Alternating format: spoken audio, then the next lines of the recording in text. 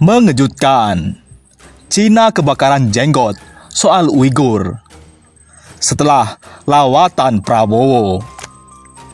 Inilah empat langkah yang bisa dilakukan Prabowo untuk menyeret Cina ke pengadilan internasional atas kejahatan kemanusiaan di Uighur. Cina kebakaran jenggot usai dokumen soal Uighur bocor. Pemerintah Provinsi Otonomi Xinjiang China dilaporkan mulai menghancurkan sejumlah dokumen dan mengendalikan arus informasi di wilayah itu, utamanya terkait sikap terhadap etnis Uighur. Para pejabat Partai Komunis Cina di ibu kota Urumqi setempat juga mulai menggelar rapat tingkat tinggi yang khusus membahas kebocoran dokumen terkait dengan kebijakan terhadap etnis minoritas tersebut. Seperti dilansir Asosiasi Pers, Senin, para pejabat Cina di Xinjiang mulai melakukan konsolidasi beberapa hari selepas surat kabar The New York Times menurunkan laporan soal korespondensi internal para pejabat setempat sampai Presiden Cina Xi Jinping.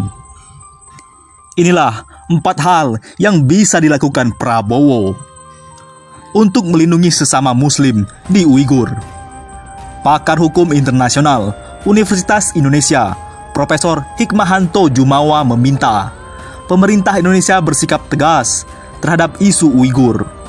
Menurut Hikmahanto, perlakuan pemerintah Cina terhadap minoritas Uighur sangat memprihatinkan. Mengingat masalah Uighur sudah menjadi isu internasional dan Indonesia sebagai negara berpenduduk Islam sudah sepantasnya bila Indonesia bersuara keras dan lantang. Ini masalah tidak hanya masalah solidaritas Muslim, tetapi ini masalah HAM sudah diinjak-injak oleh pemerintah China terhadap Uighur. Tidak seharusnya mereka mendapat pelakuan yang melanggar HAM, kata Hikmahanto. Empat hal yang harus dilakukan Prabowo. Pemerintah RI perlu melakukan berbagai bentuk tekanan terhadap pemerintah China, antara lain mempermasalahkan ke Dewan HAM PBB. Meminta Dewan Keamanan PBB untuk melakukan sidang darurat, mengingat Indonesia adalah anggotanya, ujar Hikmahanto. Selain itu, pemerintah RI seharusnya menggalang anggota gerakan non-blok untuk bersuara dan menentang tindakan pemerintah China atas perlakuan terhadap minoritas Uighur. Langkah terakhir, yaitu memberikan ancaman ke China dari sektor ekonomi bila kasus Uighur masih berlanjut. Membatasi pinjaman dari China dan masuknya investasi Cina mengingat Indonesia adalah pasar potensial bagi pemerintah dan pelaku usaha Cina, pungkas Hikmahanto. Jadi, yang dilakukan Prabowo adalah mempermasalahkan ke Dewan HAM PBB. Kedua, meminta Dewan Keamanan PBB untuk melakukan sidang darurat mengingat Indonesia adalah anggotanya.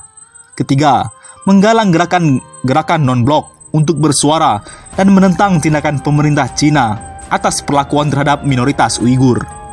4. Membatasi pinjaman dari Cina dan masuknya investasi Cina. Dan yang kelima, mendesak Organisasi Kerjasama Islam atau OKI untuk mengadakan sidang khusus dan mengambil langkah-langkah konkret untuk menghentikan segala bentuk pelanggaran HAM yang dialami umat Islam, khususnya di Xinjiang. Yang mengerikan adalah solidaritas semu Uighur dan pujian negara muslim bagi Cina. Dilansir dari CNN Indonesia, pekan lalu 22 negara barat meluncurkan penentangan besar-besaran pertama kali di dunia terhadap persekusi China atas muslim Uighur dan minoritas lainnya. Melalui sebuah pernyataan bersama kepada Komisioner Tinggi Hak Azazi Manusia Perserikatan Bangsa-Bangsa. 20 negara itu mengkritik Beijing atas laporan menjijikan mengenai penahanan skala besar-besaran. Juga larangan dan pengawasan yang berlebihan terhadap Uighur. Sehari kemudian, 37 negara turun tangan membela Beijing dengan surat masing-masing. Mereka memuji rekam jejak hak azazi manusia di China membantah laporan mengenai penahanan sewenang-wenang lebih dari 2 juta muslim di Xinjiang. Hampir setengah dari puluhan peneken surat tersebut merupakan negara dengan mayoritas penduduk muslim, termasuk Pakistan, Qatar, Suriah, Uni Emirat Arab, hingga Arab Saudi. Dihadapkan pada tantangan besar terorisme dan ekstremisme, Cina sudah mengambil serangkaian upaya kontra teroris dan deradikalisasi di Xinjiang. Termasuk membangun pusat pelatihan dan edukasi vokasi. Demikian, bunyi surat tersebut seperti dilansir Reuters. Surat tersebut juga menekankan tak ada serangan teroris dalam tiga tahun terakhir di kawasan tersebut. Juga, orang-orang di sana hidup bahagia, berkecukupan, dan aman. Bahasa dalam surat itu menggaungkan klaim China sebelumnya yang membantah tuduhan penyiksaan atau pemaksaan indoktrinisasi politik di Xinjiang. Surat itu juga memastikan kem-kem tersebut adalah pusat-pusat pelatihan vokasi untuk memberantas terorisme dan ekstremisme Islam.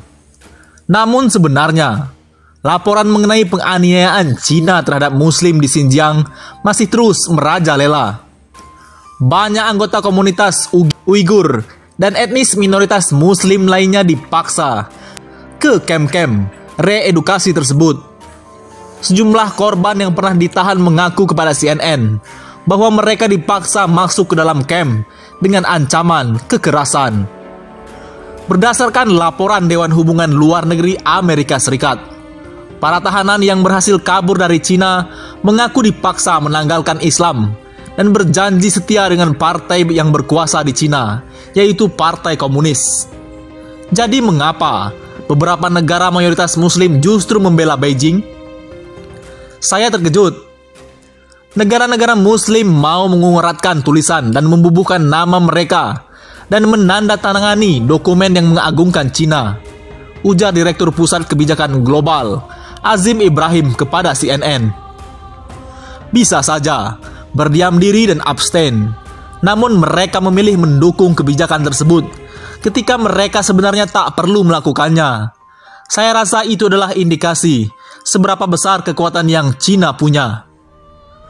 Mitos solidaritas Muslim Selama beberapa dekade, sejumlah pemimpin Muslim berupaya mengadopsi moto solidaritas transnasional dalam beberapa isu, mulai dari Palestina hingga Islam Kosovo. Namun, menurut Ibrahim semua perkara tersebut memang sangat pas bagi mereka secara politis. Sementara itu, untuk urusan Uighur, biaya politiknya terlalu tinggi.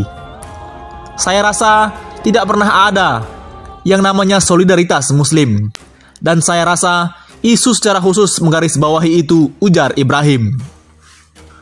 Beberapa tahun belakangan, isu-isu global yang berkaitan dengan persekusi populasi Muslim dianggap selalu sekedar untuk memecah dunia Islam. Sebut saja, ketika Iran menduduki represi Presiden Suriah Bashar al-Assad terhadap perlawanannya di negaranya, Arab Saudi, dan sekutunya mendukung pemberontakan Yaman, termasuk beberapa elemen radikalnya.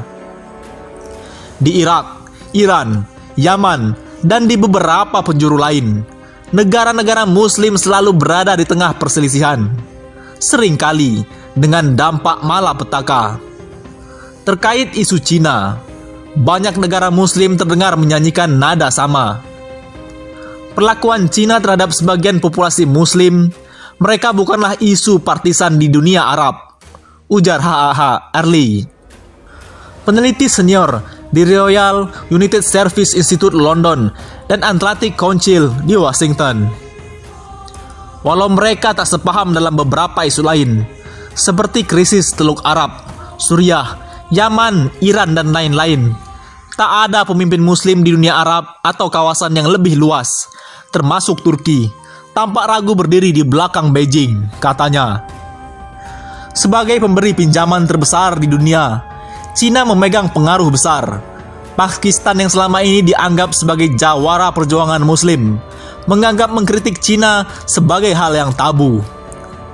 Predikat raksasa ekonomi terbukti, membantu Cina terhindar dari sejumlah masalah negara mayoritas muslim miskin lainnya seperti Turkmenistan dan Tajikistan pun ikut menandatangani surat pujian terhadap Cina tersebut.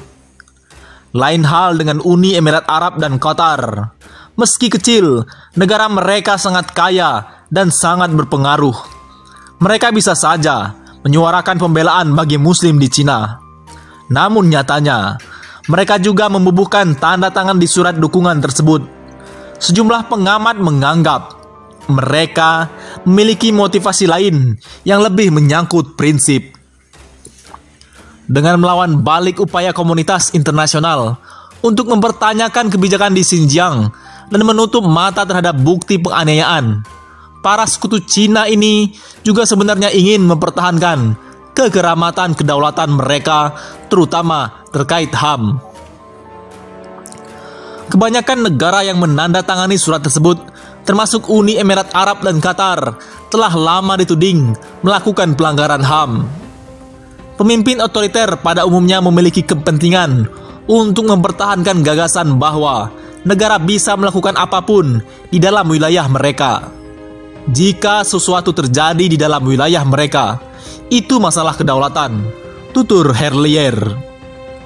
Ibrahim juga menganggap, dengan membela Cina terkait isu Uighur, negara-negara Islam itu memberikan kredibilitas tak ternilai bagi Beijing di tengah kecaman keras atas rekam jejak HAM-nya.